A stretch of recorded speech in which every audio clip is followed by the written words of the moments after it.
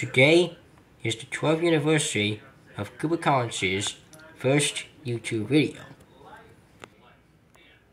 Even if the video was uploaded on the date of January 29, 2013, the video was originally recorded on December 25th, 2011, aka Christmas Day, and also Cooper birthday. So that exactly is the reason why I say it's the 12th anniversary. Because this video was actually first recorded on a date, December 25th, 2011.